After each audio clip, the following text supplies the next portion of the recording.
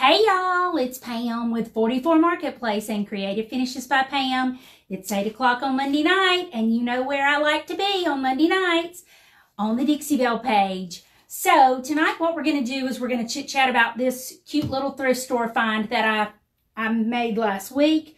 Um, I couldn't believe it when I stumbled across it because I've been wanting to do one with the library pulls, and this one was missing pretty much two thirds of the hardware but it's one of those that you might have looked over because it was missing the hardware. Um, the top was all messed up. I'm going to drop it down a little bit and show you guys.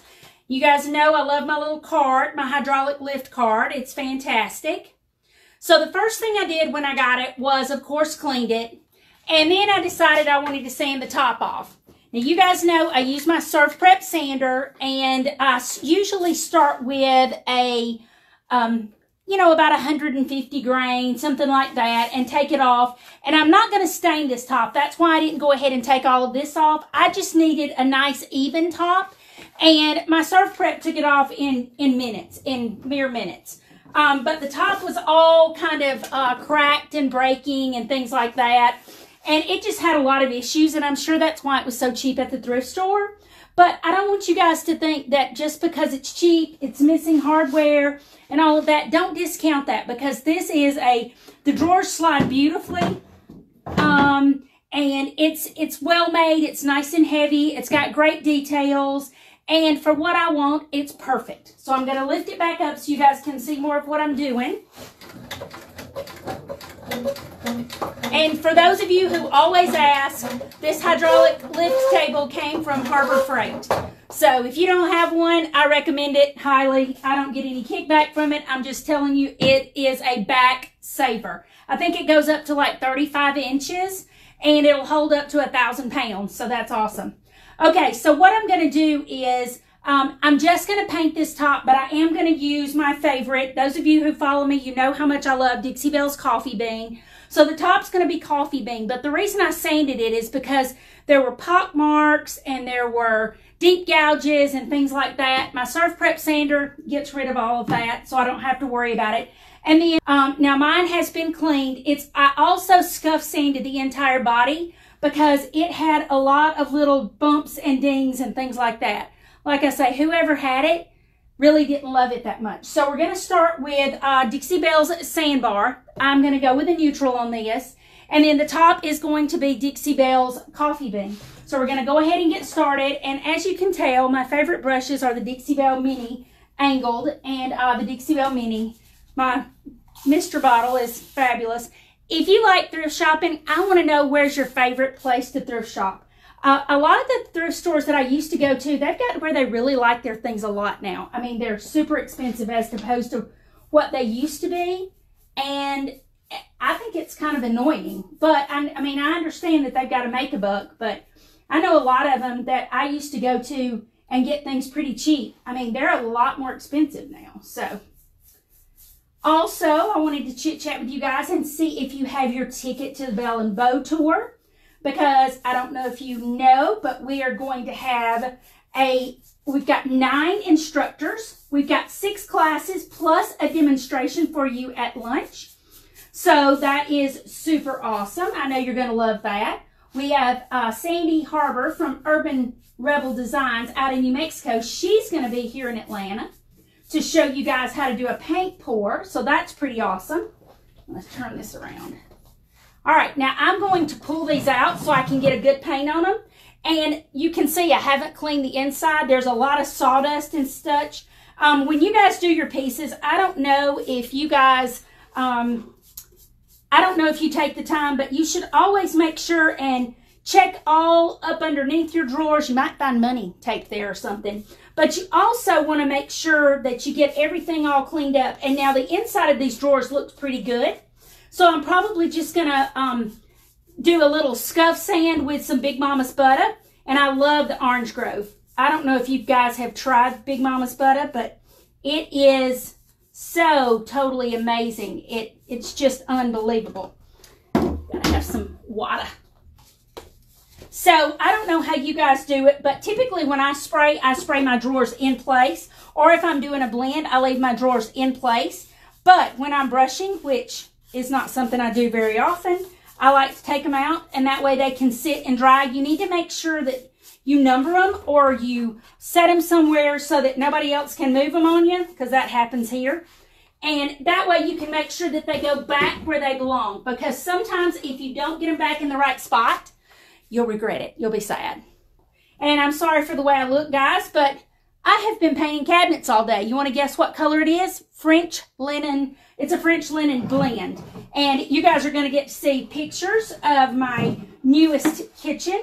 Um, you're going to get to see them this week. We are putting cabinet doors up in a couple of days. We just got to get it scheduled with the homeowner.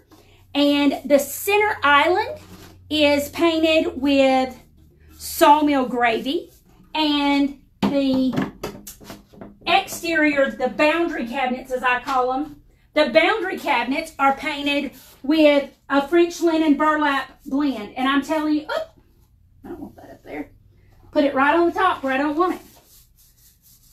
All right, I got to quit talking. Also, make sure that these areas right here on the edges of your drawers, I call it the periphery, make sure those have some color too because a lot of times people skip that. I've noticed when I go and look at furniture, people skip that. And sometimes, especially in older pieces, the drawers will go in a little farther. And you can see that somebody didn't take the time to paint that. And that always is kind of, you know, half halfway for me. I don't like it. Um, but now that's a personal thing for me. Also, how many of you guys, um, when you are painting a piece, do you paint the back? Do you always paint the back? Do you sometimes paint the back? I'll tell you, um, it really depends on the piece. If my piece is really old and has great markings, um, sometimes I'll cordon that off and then I'll paint the rest of it. And other times I paint the entire back of the piece because, you know, it's great for it to be floating out in the floor a lot of times. I mean, it's really amazing when you put something out in the floor. All right. So we're getting, we're getting it started. We've got our sandbar. And I don't know if you guys have ever tried Dixie Belle sandbar, but it is a beautiful grayish color. I mean, it is a gorgeous grayish color. Can you guys see inside here? Can you guys see how much sawdust there is? I am not even sure what they did with this. I mean, it's crazy. And it's well made. It actually has dividers between the drawers, and so many of them don't have that. I do like that. Now, if your drawers get stuck, you wish that they didn't have that. But, um, yeah, I really, really like the dividers. But this thing is really, really full of sawdust. It's not full of dust. Well, it does have dust. I'm a liar. Oh, there we go. Legs pantyhose. How exciting is that? Let's see what this one is. Power Rangers. Super exciting. I don't know if you guys have ever found anything interesting. I found things that I wouldn't talk about in pieces that I've bought. So uh, if you get a chance, you might want to look them look them up before you uh, go live. Thankfully, this one didn't have anything. I should have checked behind him before I pulled them out live because every once in a while you'll find things that you really don't want to have on a live video. What's the weirdest thing you've ever found? The weirdest thing I've ever found, um, I found receipts that were very, very old. I've found adult things in them. Um, a friend of mine found money taped to the back of a drawer one time. Um, but I have, sadly, I've only found things that were mildly interesting. Some receipts and and such. They were pretty interesting. Uh, but you know, sometimes nightstands hold little secrets. so I always laugh about those. Okay, so now we've got our drawers out so that we can do this. All right, I'm sorry. I just keep walking in front of you guys. But the, I don't have my little extra piece on my cart tonight, so it only has so much room. Now, when you paint yours, do you use a brush? Do you spray? I am a sprayer almost exclusively. All of my base coats get sprayed, and I love it. Uh, I uh, actually just got a new toy that I want to tell you guys about. I got the PPS system for my Apollo sprayer. I am going to be demoing it later this week, and the PPA, PPS system is by 3M I can't wait for you guys to see this thing. Instead of uh, using the cup that comes with my Apollo, now I have a disposable cup system. So all I have to do is clean the gun. Who doesn't like less cleaning? I mean, come on. Uh, my girlfriend, Corey, thank you very much, Corey. When we were in New Jersey, she kind of clued me into it. And as you guys know, John Durock from Apollo Sprayers is going to be in Atlanta here helping. Um, he's going to be teaching us how to use the Apollo sprayers. I chit chatted with him about the PPS system and he hooked me up with the part numbers and I ordered them and they came in today. So I got to tell you, I'm super excited about my paint prep to uh, add to my Apollo sprayer because now less cleaning. Who doesn't like less cleaning? I got to tell you, I'm super excited about it. I'm pumped. All right, so we've got this across here. And now, I don't know how you guys do it, but I like to put two light coats on everything. And I know some of you guys use um, Boss or or something, Boss or Slick Stick on every piece. And I got to tell you, even as many kitchens as I did last year, I did not use Boss. I think in four years I've used Boss on one kitchen and Slick Stick on one kitchen. How often do you guys use them? I'm not sure. So I'm going to spin this around a little so you guys can see what I'm doing. We're just trying to get a base coat on here. Now, I want to know your thoughts. If you had a, top that was sanded down, would you uh, rather stain it or would you rather paint it? I would much rather use my coffee bean and you know, you can use it as a stain. It doesn't have to be used as a paint. And I've done a demo on it so you can actually use it as a stain. When you water it down just a little bit, it does beautifully as a stain.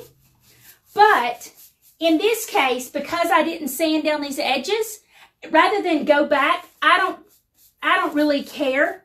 I just want a dark top. I want this to have a dark top with this lighter bottom.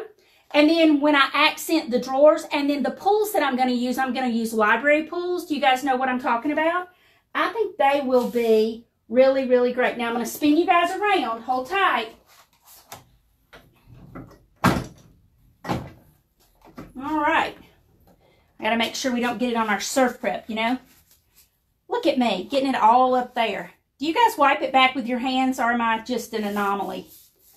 I usually have baby wipes, but I don't have any over here tonight. Because I got to tell you, I was last minute getting here. Those of you who know me know that is not surprising. But I hung out painting in my kitchen until the last possible minute. And then I had to run and run, run, run and get over here. Thankfully, I was only about 15 or 20 minutes from the shop, so I got over here on time. And then it wouldn't let me go live. So sorry about that. I know I was about two or three minutes late, but it said, no, no, no, not enough signal. So what is your favorite Dixie Belle Neutral? This has got to be one of mine. Sandbar is one of my favorites. I will say, though, that I am quite impressed with the new, um, what did I just say? Sawmill Gravy.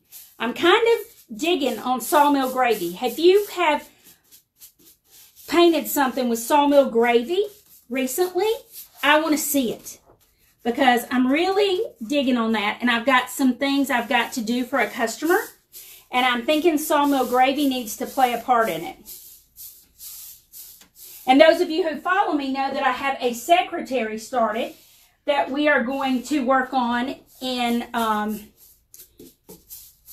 live so that you guys can see because we're going to do the inside a different color than the outside. And I was taking suggestions the other day. I think it was in a different group, but I was taking suggestions. All right, so we got our base coat on. Now I'm going to tell you, when I do my base coats, a lot of people get kind of worried um, when they do their base coat because sometimes you can see through it and things like that, um, especially light over dark, dark over light. Uh, don't stress about it. I got to tell you, nobody's base coat looks fabulous, except, you know, maybe Cece's and Brandy's. But nobody's base coat looks beautiful. So I have a lot of people who get ready, they're ready to jump ship when their base coat doesn't look good. But I got to tell you, if you watch any of us paint live, you can see that your base coat doesn't look fabulous with that first coat. I mean, when you're going light over dark, and if you're doing kitchen cabinets for a customer and they're watching you, um, they kind of panic when they see that first coat of paint. Um, because I brush the boxes and then I spray everything else. And every once in a while, you'll see the little bit of panic on their face. They don't really say anything, but you can see they're like, oh my gee, this girl has no idea what she's doing. And I tell them the same thing trust the process. This is going to be great, it's going to be beautiful. All right, so now we've got this one on here, and it looks just like I said, it looks kind of like adolescence, and that's what I equate it to. It's kind of like, oh, not really. Um, so we're going to get our other brush out, and it is a Dixie Belle Well Loved Mini. We're going to dampen it down, and we're going to do our coffee bean on the top. Now, I know a lot of you guys like the light bottom, dark top, and you stress over oil-based stains. I mean, there's a million things to stress over. Oil-based stain and stuff is not really one of them you need to worry about. Another alternative is to paint it with coffee bean, and if you want it to have a wood grain look, drag a little bit of chocolate or a little bit of pine cone over it with a, with a chip brush, and it makes a beautiful, I mean a fabulous looking wood grain. Okay, so if you know me, you know I use coffee bean all the time, and I think it is just a beautiful color. I use it for accenting, I use it for staining, I, I use it all of the time. You can make it as dark or as light as you want, but since this one is sanded, it's going to be a little bit lighter um, on the top than it is on the edges. And I know some of you people with OCD, that's kind of stressful. It's fabulous to me. Okay. I like for there to be a, a different tone.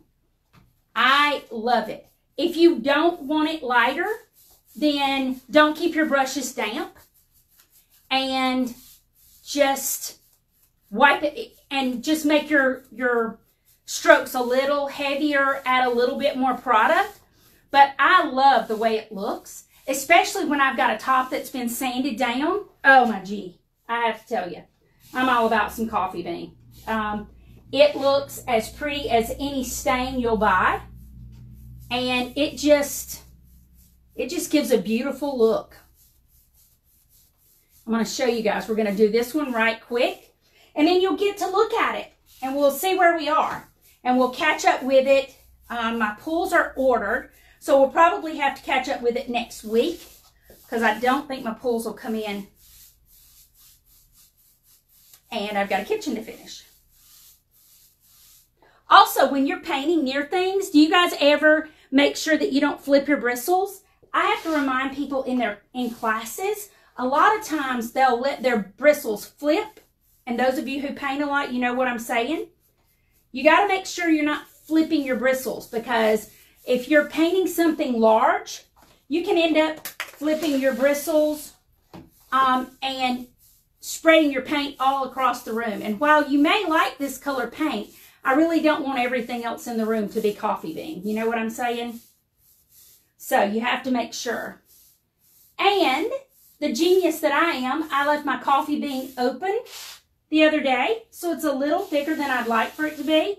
But you know, if you do that, if you're a genius like I am and you do that, the best thing to do, just use a damp brush. Just use, and I did say damp, just use a damp brush and it will be beautiful. Every once in a while, I'll open something that I haven't had open in a while and it'll be kind of thick. And I know a lot of people will say, oh, well, it's no good anymore. Seriously, people, y'all are not as frugal as I am. I mean, I, you can throw some water in that and stir it up and it does beautifully. So don't stress about it. And I'm in the South, so I usually don't have to worry about anything freezing, but I've even tried to bring back, help bring back some that was left where it shouldn't be, and it was a little cold, and it did not fare well, but a little bit of warm water and we got it right back to where it was usable. All right, so I'm going to show you. We're going to go around. You have to make sure, if you're like me, you have to go back and clean up those little edges because otherwise, you know what will happen. You'll end up letting that stuff just sit there and it'll be yucky. And then it's sanding again. I know a lot of you guys don't like to sand, which if you have a surf prep sander, you probably love to sand like I do. But if you don't like to sand, I totally get that. But every once in a while, you come across a piece that you got to do it to. I mean, you got to sand it to get it the way that you want it to look. So if you don't like to sand, there's usually other alternatives, but like the way this piece looked, honey, it just had so many issues. The whole finish was cracked. So it took a, it took a lot of sanding. And it, from the look of the way it's soaking this up, we may have to have more than one coat of, maybe a coat and a half, like my friend Heather talks about. Instead of two coats, she said, sometimes you just need a coat and a half. So, maybe that's what this one will need. All right. So I'm going to show you, I can see back here already that I'm going to need a little bit more. And all of a sudden my comments are gone, so I'm sorry, but I will answer all of your questions afterwards because I don't know what happened. It still says I'm live, so I hope I am. But I can't see any comments and no numbers at the top. So I don't even know if I'm still live. All right. So I'm going to spin this over here and drop it down a little so you can see it. Come on. All right. So you guys can see this is still drying, but see how nice and dark that is? It's a nice even tone. The front needs a little bit of work, but that's a whole nother discussion. All right. So now you can see what it looks like. And you can see, you can kind of get an idea of where we're going with it. You can see that we're getting lint on it from somewhere. That's why I have to keep my hair back because I shed worse than any dog you've ever had that sheds. Um, all right. So you can see this is where we're kind of going with it.